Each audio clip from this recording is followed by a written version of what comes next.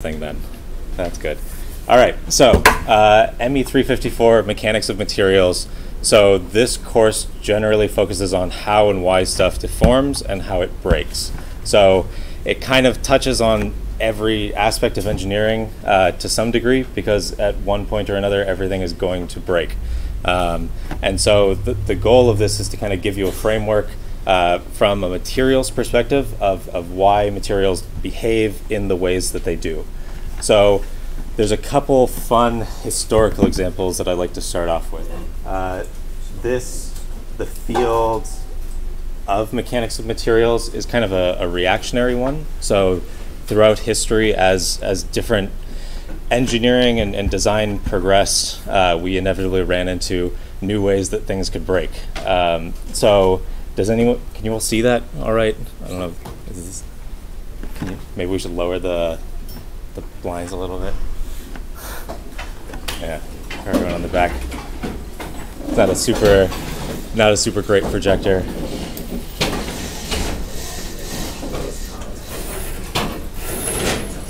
There we go. Better? Cool. Cool, cool, cool. So, um, does anyone recognize this picture? It's a pretty famous historical one. Maybe? Yeah? How about, ha- has anyone heard of the Liberty ships in World War II? Okay. Who knows what happened with the Liberty ships? Feel free to just go for it. Because of how cold the Atlantic was, they cracked. Yeah, or yeah. Uh, so this one uh, was actually in a harbor in Portland, um, but so this was uh, sometime in World War II. They wanted to ramp up their production. They started building these cheap cargo ships um, using what ended up being very faulty welds, um, and because the temperature of the water got cold at night, turns out steel has what's known as a ductile to brittle transition. So steel um, at room temperature is, is pretty ductile. You can deform it, and it deforms plastically a lot. And when it gets really cold, it does not, and it breaks. And so all these faulty welds ended up failing on these Liberty ships.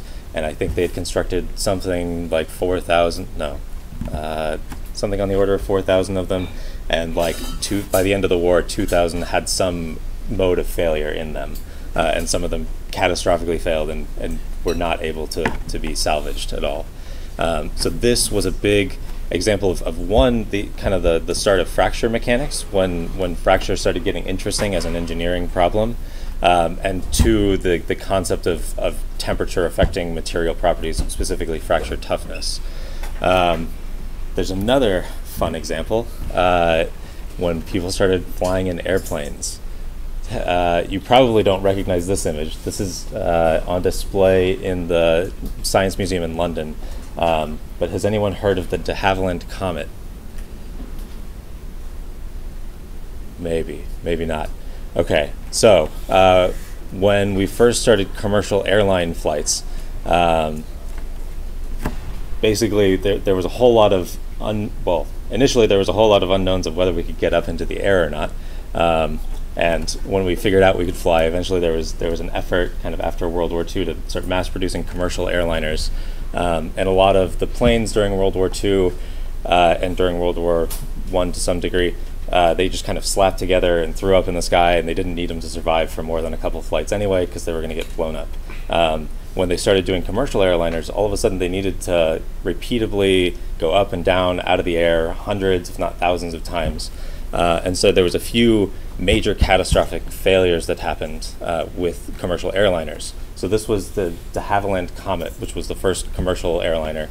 Um, and on one of their flights from Rome to London, uh, the I think the kind of they, they were rising up to climbing altitude 3,400 feet or 34,000 feet. By the time they got up to 29,000, uh, people on the ground saw the ship kind of fall apart and everything went down. Um, so they went and pulled some of the pieces out of the Atlantic Ocean, out of the Mediterranean, or wherever, uh, and ended up crashing. And they tried to figure out why the heck this plane went down. And it turned out, um, if you look here, what's what's wrong with the windows there? What's different about windows than the normal commercial airliners now? They're square. so They're square. Yeah. So, stress concentrations. So, this was when we started learning about stress concentrations as engineers. And we saw, oh, well, our, our square, square windows have all these cracks coming out of the corners. And so that's a problem. Um, there's another fun example when we started building railroads. So, um, this is uh, a railroad in New Zealand. I think this was actually 2000, 2009, some, sometime in there. Um, a pretty recent example. But uh, it turns out when you have a very long metal track that's being uh, rolled on by a train, creates a lot of friction, creates a lot of heat, and it's being shined on by the sun, that also creates a lot of heat. Um, what do you think might have happened here? The metal expanded and then and it buckled. Yep. So this is kind of a classic example of a, of a buckle failure of, uh, of a commercial or of a, of a railroad track.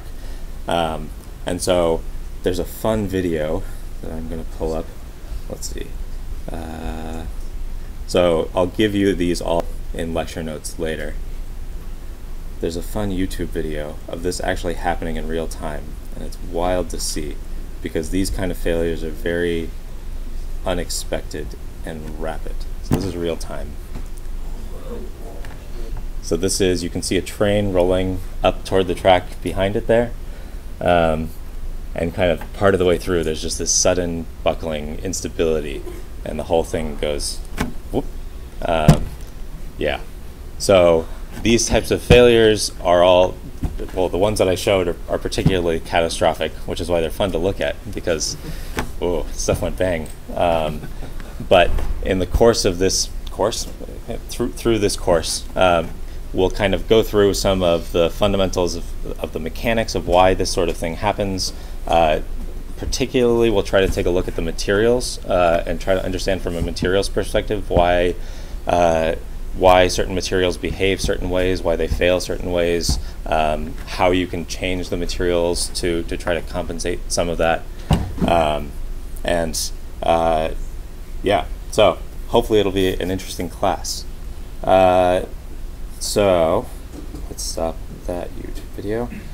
I'm gonna have you. So in the in the announcements yesterday, I forgot to put in the initial announcement, but um, I sent a reply after that asking you to bring an internet connected device. So I hope like a cell phone is fine or a smartphone.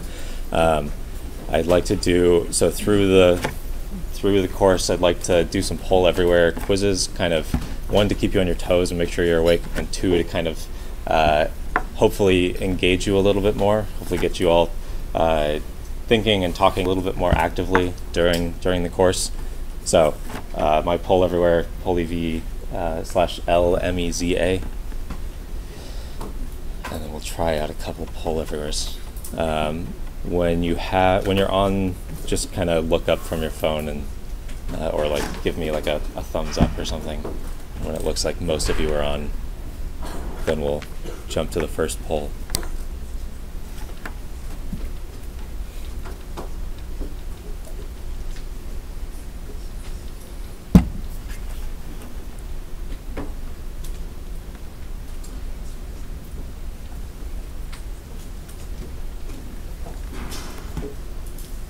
Cool.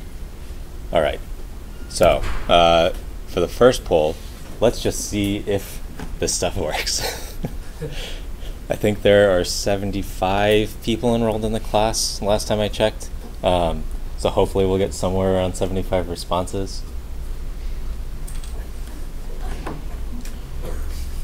It should be. Oh, why is it locked?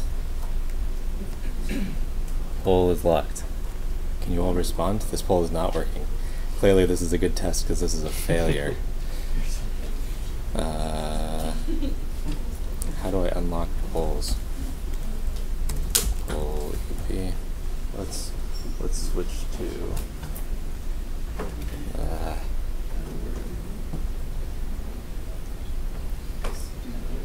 why is it locked? No. Oh. Well, that's interesting. Still, still locked. No. All right. Let's let's try let's try the next poll. so my, my test to see if it, if the poll works failed. Let's let's try another poll. So um, there's there's a whole bunch of different topics this co- course covers. Um, I don't know how uh, how much you've looked through a syllabus at all that I posted, or uh, any of the any of the book or course materials at all. Um, but cool. So this is working. I'm all interested in learning how PollEv works. That's a that's an important one.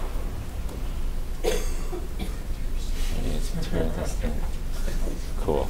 We'll, we'll, we'll talk about grades and general course organization after this.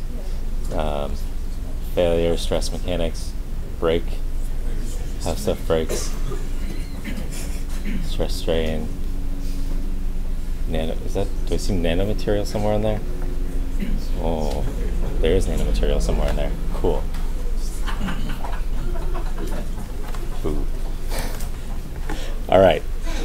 So, uh, while you continue to populate this and make it run around in circles, uh, so a little bit about my background, real quick. So, I am a, prof- uh, a professor here in mechanical engineering.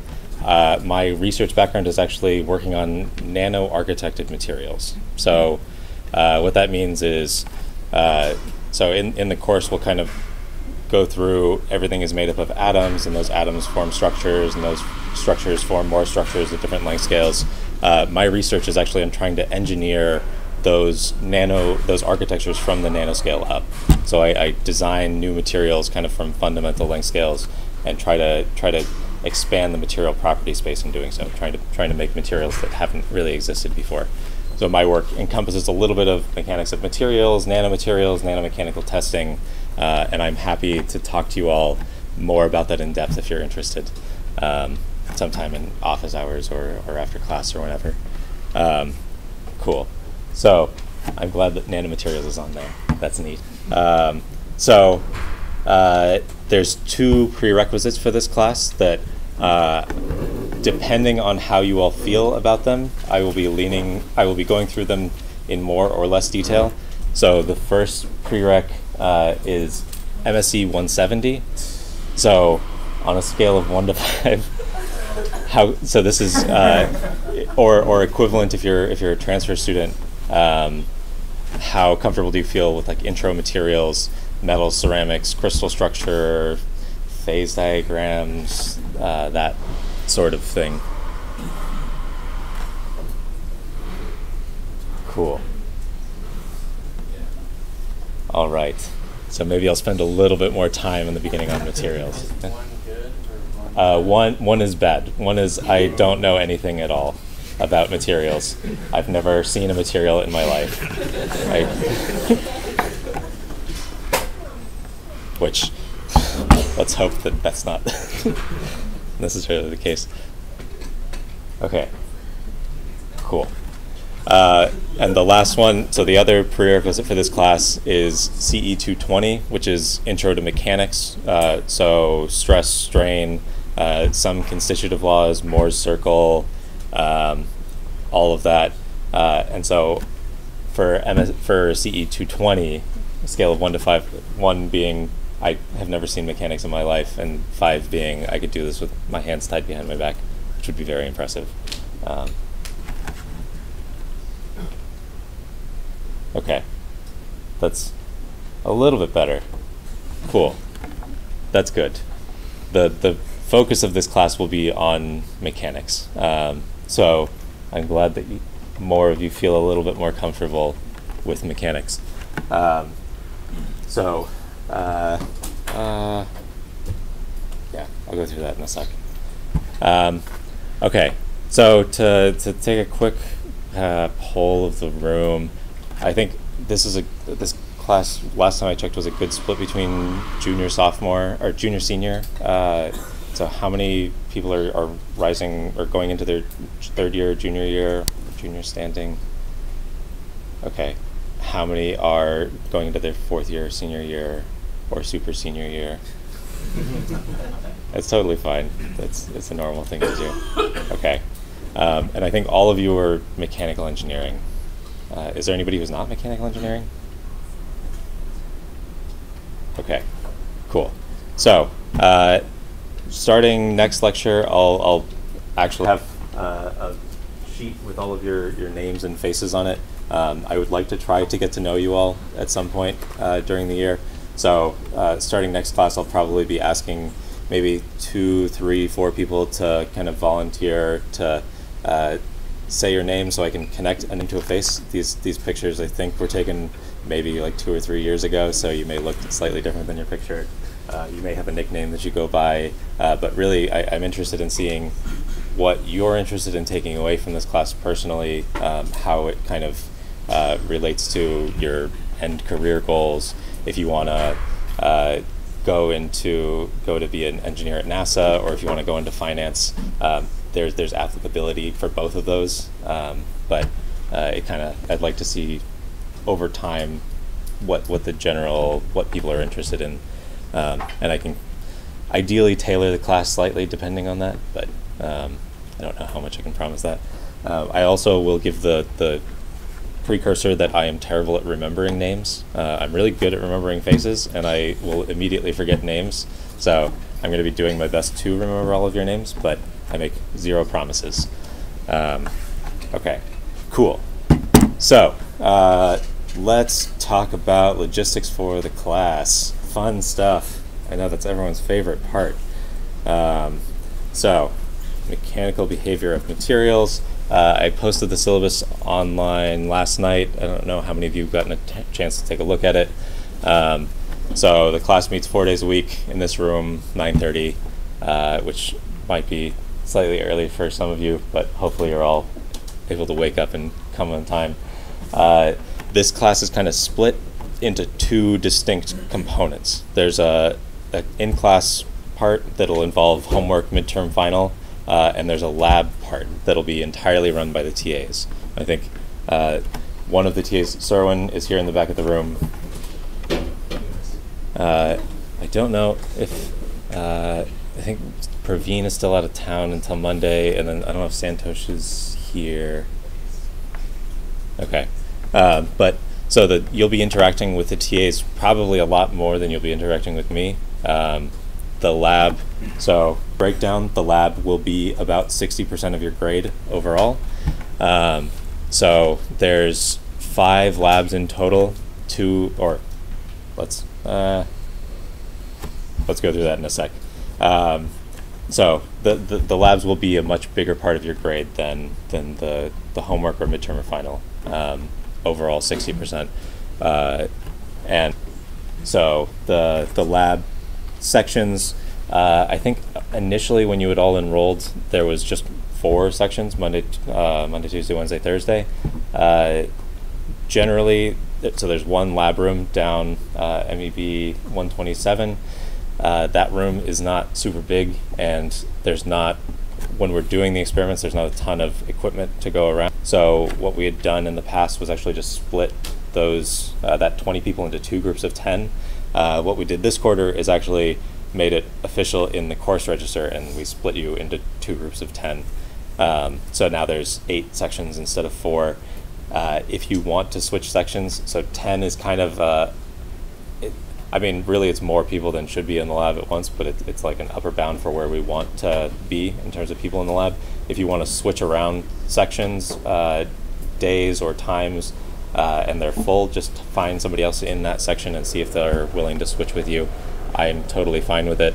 Uh, the day your lab is will correspond to what day your lab is due. Um, so that's the only really big thing. Um, but otherwise, if, if you have a schedule conflict or, or something and you really need to switch labs around, um, find one of your classmates and, and, talk to them, and we can try to try to accommodate things. Uh, but I'd prefer not to go over 10 people enrollment in each of those. There'll be no labs this week, um, and then next week we'll have a demo. So, uh, course description, textbook. So there's uh, one recommended textbook for the course, not required, um, but it's a useful one. So this is Mechanical Behavior of Materials by Marc Meyers and uh, Krishna Chawla. this uh, is a new textbook this year. Previously, we had used uh, Norman Dowling Mechanics of Materials book uh, that I wasn't a huge fan of. This one uh, goes through some of the it, it, it more closely follows the topics as, as I like to talk about them, and it focuses particularly on materials. So there's a there's a big emphasis on materials, different structures, different composites, different com- uh, architectures of materials, um, and so if you want to dig more into that, this is a really good book for it, and, it, and I think it does a good job of connecting uh, mechanics of materials with, with a big emphasis on the materials part. The, the materials is even in a bigger text there, uh, which is probably how they emphasized it. But yeah, so I, I am a fan of this textbook. Uh, it would be helpful if you want to do extra reading, but it's not necessarily required for doing well in the class. Um, there's a few additional texts, a few, uh, there's a lot of additional texts. I'll, uh, oh, there should be one book on reserve in the library, in the engineering library. I think this is my copy, and I think I'll also put it on reserve in the library. Uh, and I actually have a couple copies for the TAs too, so they'll have some to play around with. Um, these books, as we go through different topics, uh, so each of these areas, there's a lot of depth that we will be scratching the surface of. So if, if we happen to come across, if by the time we get to buckling, we go through our, our three or four lectures of buckling and you're like, that was the coolest thing ever and I want to learn a lot about buckling, there's an extra uh, reference book on buckling that you can really dig into. Uh, and I'm also happy to, to recommend more books on any one of these subjects. Uh, for the ones that we have uh, in the engineering library, I'll be putting those on reserve, or those should be on reserve. Um, some of them aren't in the engineering library. Uh, I don't know. I think the, on- the only one was this, uh, actually, this buckling book that the engineering library and the, uh, or the collection of libraries that we have access to didn't have. Um, but yeah, if you're if you're interested, let me know and we can try to figure something out. Uh, this class also focuses heavily on writing. So um, this lab or this course doubles as a writing two requirement, which uh, do any of you know what have you have you heard of writing two? Do you know uh, something about that? Okay, so uh, for engineering, uh, for ABET to be accredited as an engineering school and to give you a degree that actually gives you like a you're you're a, you're an engineer that graduated from a from a real engineering school. Uh, ABET, an organization, kind of comes and, and monitors uh, or checks through our, our courses, makes sure throughout the next two years or one year or throughout all, all four years of your education, you're, you're becoming a well-rounded, knowledgeable engineer. And part of that is you have to have two courses that are writing required, that are, that are heavy writing intensive courses. Uh, this one counts as one of those. So uh, if you don't like writing, I'm sorry. Um, this this will be a, a writing intensive course. There's only two labs, so um, total there there'll be five labs that you that'll count for this sixty percent. Two of those will be formal reports, and three of them will be write-ups. The write-ups will mainly be uh, go through the analysis and talk about the results. Um, so it won't be like a full formal, a, full written report, uh, and then those two formal reports will be full abstract intro, uh, procedure, discussion, conclusion, the whole the whole nine yards, and we will be grading uh, a lot on writing content. And so after this, I'll go through how we'll actually be breaking that down. Um, there's also lab demos. So next week uh, will be a photoelasticity demo. Those will actually count for extra credit. Um, so each of the labs will be, I think, a half a percent. There's four demos, and so each will be a half a percent extra credit. Um, they're, uh, I think, generally interesting experimental techniques to learn. So photoelasticity, uh, we'll talk about, I think, more on Monday, and then you'll actually um, get that lab next week. Uh, is a technique that is really interesting and cool to see, but maybe not as relevant in, in day-to-day engineering operations anymore. Um, it was really heavily used kind of a few decades ago, but it's fallen out of favor for DIC. Um, yeah, so so there'll be four of those, uh, along with the formal lab reports. I guess I'll, I'll talk about this when we go through the grading sheet, but there's also an opportunity for extra credit there. Uh, and then in class participation, so all those all those polls that you were clicking on, uh, I'll give I don't know some n number of polls, uh, and then at the end of the year, I'll just go through and see how many of those polls you answered, and that'll pretty much count for that one percent. It's just kind of an, an extra incentive to make sure you're here and participating and clicking a button on your phone. The answers don't have to be right. Some of them are opinions and random word choices anyway. So, um, yeah.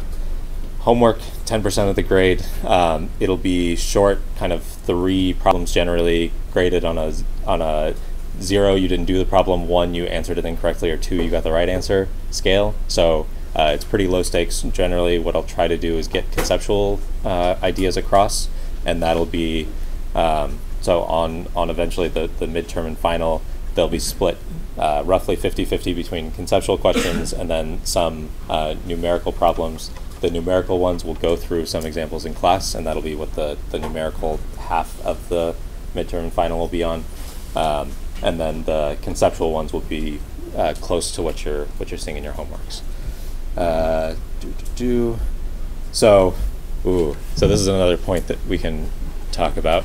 So, I am planning on having a midterm that Friday of fifth week, and then the Friday of tenth week, which is te- technically doesn't count as a final. So, uh, they the courses won't be or the, the midterm and final won't be cumulative. So i'll just be testing on what was taught in those five weeks respectively. We don't have to do this during 10th week. I think uh, technically it's a dead week and you're not supposed to have exams while you're getting ready for finals. But um, it, it'll be an hour long. We can have that during finals week if you'd like or we can have it during 10th week. Uh, is there anybody who strongly opposes having it during 10th week yeah, you say that now. And then 10th week, when everything is due and all of your projects are coming to a head and you have no time, you're going to be like, oh God, why did I do this? Okay. I'll let it sit for another lecture. And on, on Friday, if there's anybody, or at the end of the lecture, if there's anybody who has objections, come talk to me. Um, but okay, for now, we'll, we'll plan on having that second midterm uh, Friday of, of 10th week. Um, what else? lab work. So those those two lab types of lab reports, formal reports and lab write-ups. Uh, the write-ups are due one week after your lab period. So if your lab is on Monday at two thirty, your lab report is due the following. Your lab write-up is due the following Monday at two thirty. Um, for the formal reports, you have two weeks. Um, so it'll be that two weeks after Monday at two thirty. Um, we want, or the the TAs will be grading those pretty much entirely. Uh, sorry, TAs. It's um, they're hope ideally uh, they won't be kind of giant volumes of text uh, for the lab write-ups we're hoping like 10ish pages and the formal reports 15 20 um, excluding the appendices because if you have a whole bunch of code or a whole bunch of data that can take up a lot of space um, what else uh, late uh, late assignments late homework late labs uh, so there is a, for the labs, there's a 1% per hour late policy. So basically, if it's four days late, it's zero credit. Uh, and each day is roughly 25%, 24% off. Um, the homework is uh, 2% per hour. So uh, two days late, and you get a zero credit. In the so they'll be they'll be turned in into the boxes in 236, which is next to us, I think, the room that way. Um, and there'll be there'll be boxes marked with 354 and your your corresponding section that you can turn things into.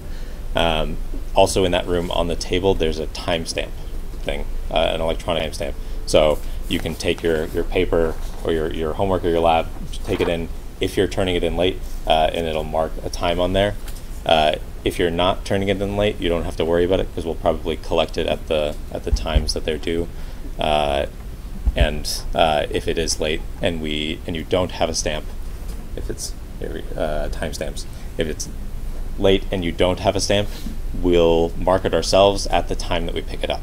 So um, we are not going to be collecting it like every hour on the hour. Uh, so if you turn it in and you forget to stamp it, and we happen to collect it that evening, then it's going to get a stamp for that evening. So try to remember to to stamp your work. You can also, in lieu of that, if you Okay. So in lieu of that, if you have it done and you turned it in, uh, you can take a take a picture or scan it and send us an email. That also works as a timestamp. Or on the off chance that you're unable to make it to campus, um, you can take a picture and, and send it to us, and that'll that'll count as like a as a timestamp. Any of those kind of work fine. Um, yeah. Are labs submitted individually or a three to four man team within the section submits? Yes. So, collaboration policy. That's the next one. Or, uh, yeah, somewhere down there. Um, so, on the homeworks and the labs, you're welcome to collaborate. Uh, you're welcome to talk to any of the people in your lab, people outside of your lab, on how to do the solutions. But all of the work must be yours. So, any writing must be yours, any code must be yours. Um, and then if you do collaborate with people, just mark the names of the people, person or people that you've collaborated with. Um, I would expect like maybe one or two people or, or small groups of like two to four ish. Uh, you don't have to collaborate with anyone if you don't want to. Uh, this is strictly for your benefit. So it's it's if you want basically if you want to talk to people about the solution, if you're stuck on something, if you don't know how to write some part of the code, or if you don't know how to analyze something, if you if you're I don't know stuck anywhere, that's your opportunity to talk to people. If you're stuck on a discussion point, you can talk ideas and concepts through with people. All of that's fine, but all of the writing must be yours, and all of the work must be yours. Um, and anything that we see, you'll be putting the names of people you're collaborating with on your sheet, so it'll be pretty easy to tell if you're copying from anyone. Any copying will result in a, in a zero credit for the assignment, and uh, repeat offenses we'll deal with as they come up. Hopefully that won't happen, but um, yeah, extra credit again, half a percent per demo. Uh, I'll talk about the formal report extra credit, and then in class participation. Uh, no plagiarizing. There's some stuff that I want you guys to learn by the end of it. So, um, generally, understanding mechanics of materials. So, how stuff deforms, how stuff fails, how materials play into that. Uh, you'll be learning in the labs a lot of experimental techniques. So, hopefully, uh, by the end of the course, you'll have an idea of if I want to get a shear modulus, how do I test for shear modulus, um, for example? How do I, how, what kind of an experiment could I set up to do that? and, and you'll have sort of a, a suite of, of techniques that you've you've learned and you've learned how to you've learned how to do and learned how to analyze the results for that you'll be able to use later on. Um, most day-to-day uh, like engineering stuff, you're not actually going to be doing tensile tests or torsion tests, or uh, you might be doing DIC. That's a pretty popular one nowadays. Um, but uh, and you'll be material properties from data sheets. But it's still important to know when you see a property in a data sheet what that property means uh, and how what it means to actually get a precise number. Like, what does it mean that aluminum has a, a Young's modulus of 70 GPa? How did they get that? How how correct is that?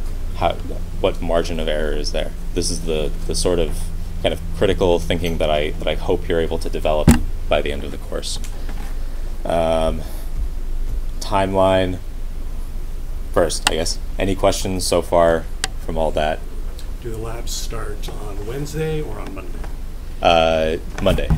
So it'll start Monday next week, but it'll be a demo next week. So no stakes, low stakes, extra credit stakes. Uh, Okay, thanks. yeah. Um, yeah. Other questions on things? Um, will you be indicating like which sections of the book are relevant, which lectures and so on? Yeah. Um, so uh, I'll be posting, along with posting lecture notes, or along with posting videos, I'll be posting lecture notes. So, um, for example, today we talked about historical examples of stuff. I have this described in a bit more detail with some references and, and kind of examples of things. I'll be posting these online kind of along with as we progress through the course. I don't know if I'll be posting it ahead of time or not. I think I might just post like as we go through material. I'll, I'll post that section of the notes, um, but I'm still playing around with it. My handwriting is also terrible. I apologize in advance. Um, so that might be a reason to post them ahead of time, so you have something legible to, to go off of. Um, yeah, but um, I, I will be kind of in these notes, and I'll, I'll try and lecture, but I might forget. Um, I'll be referencing sections of the text and other textbooks that are relevant or resources that are relevant. Yeah. Other questions on stuff? Cool. All right. Uh, schedule. So there's a whole bunch of topics we'll go through. Um, we'll start off. So CE 220, you should have done a lot of beam bending, beam theory. Um, so hopefully that's somewhat fresh in your minds. Uh, the first write up will be on beam bending, and that'll be so on on Friday and Monday. I'll go through basics of materials, basics of mechanics, just kind of a, a refresher of uh, some of those concepts that you should know generally for the course, uh, and then we'll go into beam bending theory. Uh, that after we get through that material and the first lab, uh, the first real lab that week two will be on beam bending. We'll go into stress, strain, and constitutive laws. So, what is stress? What is strain? How do we think about them in three dimensions? Uh, I think you should have seen them in, in at least two dimensions before.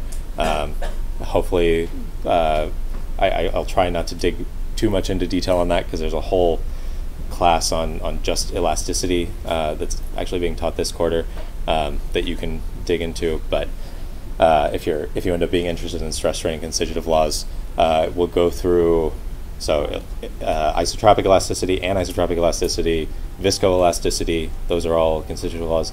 Plasticity and plasticity theory and yield surfaces. Um, I think you should have seen kind of up to elasticity and strain uh, stress transformations in CE 220. I don't think you saw viscoelasticity at all, right? And I don't think you saw plasticity at all, right? Okay, cool. So I think new new topics will probably start kicking in like week midweek two, week three, uh, and if there's stuff, uh, if I'm kind of burning through some of the material in on up up until that point that is is review, we can kind of slow down and, and take a step back and, and, go through it in a bit more detail, uh, depending on how you all feel about stuff. We'll play it a little bit by ear. Um, so once we get through all of the constitutive law stuff, then we start getting into uh, buckling, which is uh, so plasticity. We get into buckling, uh, which is what you saw with the railroad stuff. Stress concentrations. So if I have a hole in a plate, what, uh, how does that affect the stress stress distribution around that hole? Uh, that directly leads into fracture, and we'll spend a couple weeks on on fracture. Impact, which also relates to fracture, Weibull statistics, which also re- relates to fracture, and at the very end, we'll talk about fatigue. Uh, that last week, depending on how fast we've moved through stuff, uh, we can go into some specialty topics, nanomechanics, nanoindentation, uh, shape memory alloys like weird materials, uh, Bauschinger effects, like if if I'm going through cycling, if I'm if I'm cycling to high stresses, there's there's some interesting uh, stuff that happens to, to stress strain responses. Um, this one will kind of be play by ear. If we get to this point and it looks like we're going to have extra an extra lecture or two to go through topics, I'll kind of leave it up to you all um, by popular vote, whichever topics you want to go through, uh, and we can we can hit that at that time. Um, labs as we're going through them. So photoelasticity is your first one. Beam buckling. Uh, or beam bending is the is the first real lab. You'll have a viscoelasticity demo, uh, and then uh, a tension formal report. So your first write up will be second week, and your first formal report will be fourth week. And so that um, I guess that fourth week lab will get turned in week six, and we'll we'll try to have a fast grading turnaround. But with 75 people in the class, it takes a while, um, and it's all in TAs. So. Um, yeah, uh, there's three TAs, so hopefully it'll move along. But it's it's it's tough with with that much writing and that many people. Um, the after that, uh, I haven't we haven't decided if I want to do an iOS password creep test. It'll probably be a creep demo there, but it's it's a demo, so it's not super high stakes anyway. Uh, and then after that, after we get past the midterm, we'll kind of go into overdrive. So we'll have a write up on torsion, a write up on buckling, and then a formal report on stress concentrations, all kind of back to back. So it'll be a little bit easier in the beginning and then kind of a, a ramp up at the end.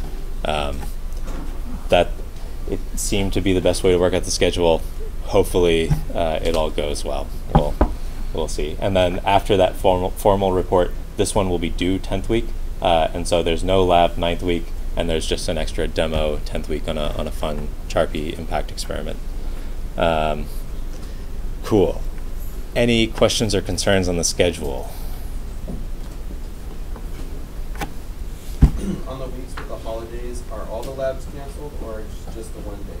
Uh, right. So the only one that'll conflict is that one Veterans Day holiday, and we'll it'll just be that one day that's canceled, and we'll have to do something to move people into sections. Um, we might make a Friday section, or we might see if if everyone can get dispersed into those other six time spots. Uh, we're gonna have to play that one by ear, and depending on on what schedule conflicts there are, we'll yeah, we'll see. Thanksgiving there is no lab uh, that week, which solves that problem. And I don't think there's any other holidays anywhere else. Um, yeah, so uh, yeah, we'll we'll figure this out closer to when it comes up. Thanks. Other questions, thoughts, concerns? How much online modeling are we doing? Are we doing FEA analysis? Or Uh, nope, no FEA. I'll, I'll probably show some FEA. Uh, I think in the in the photoelasticity lab there is like a here's the FEA of the curved beam that we'll show you, and then you'll see the photoelasticity in the in the actual experiment. Uh, in the course, I might show like FEA on a on a stress concentration around a hole because that's a convenient one to do. Um, but we won't be doing it at all in the course. This is mainly an experimental lab course. Yeah. you. Um, there will be DIC at the end. So this stress concentration lab will have DIC, so the digital image correlation, which is a computer analysis technique, not quite FEA, but um, yeah, still still experimental, but computer analysis. Uh, Gotcha. Thanks. yeah. Cool. Do you have any office analysis? Uh, I'm planning to start them next week. If there are a whole bunch of people who really want to talk to me today after lecture, uh, I can hang around. My office is around the corner, 224. Um, but yeah, it'll probably start next week, Monday. Yeah. Other stuff. Uh, one note analysis for the labs. So there'll be a day that we talk about um, data analysis techniques. Uh, so this one, week three. Uh, week two, we'll talk about error analysis, and week three, we'll talk about data analysis. There's no software that you need to use to analyze the data for the labs. That you'll so for the experiments, you'll be you'll be getting something between a small amount of data to thousands and thousands of data points. Um, for the small amount of data, you're welcome to use Excel or, or something equivalent uh, to analyze things. For large data sets, I recommend using MATLAB or Python, and that on week three, we'll, we'll be talking a little bit about strategies for how to analyze data using, uh, I'll probably talk about it in Python. Um, so, how many of you, quick, how many of you know MATLAB or are somewhat comfortable with it? Okay, most of you. How many of you know Python and are comfortable using it? Cool, cool, cool. So maybe I'll do the demo in MATLAB. I'm, uh, at some point, I, I strongly encourage all of you to learn Python. It's a much more useful and general programming language. I used MATLAB for like eight years before trying to learn Python, and I would not switch back to MATLAB after using it for like the last three-ish years. Um, yeah, so that's my my two cents on it. I know it's also a big time sink if you want to learn it. Um, cool. So we have almost no time left. Uh, real quick, uh, there's I sheets posted online for how the labs will be graded. If you want, we can go through this in a little bit more detail closer when they're actually due. We've tried to coarse grain some of the grading, so you can see kind of point by point how things are, how you're being graded, how you're being, how points are being assigned. Um, uh, for the formal write-up, you can see that a large portion of the grade, 30 out of 100 points, is quality of writing. So we really are trying to focus on you writing well uh, and we'll talk a bit in the course about strategies for writing well. Uh, and then there is, an, for the formal reports, an extra credit opportunity. So uh, after the labs are due, you can do a peer review of the lab. So you find a partner, uh, you each grade each other's labs according to this rubric, and you mark each other's reports. Then you revise your own lab based on those marks. Uh, and if you do that thoroughly, we'll give you up to 10% of the formal reports for extra credit. So total, that would be 3% of your grade. Um, cool. So I think we're about out of time. Thanks, everyone, and I'll see you on Friday.